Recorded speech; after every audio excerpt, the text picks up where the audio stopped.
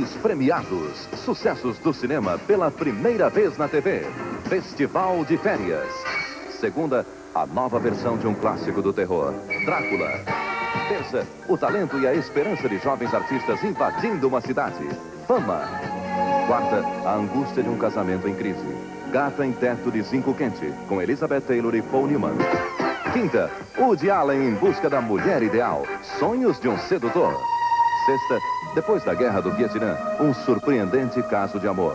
Amargo regresso com Jane Fonda e John Voight. Festival de férias, a partir desta segunda, 10 e 15 da noite. O que pinta nas férias, pinta na tela da Globo.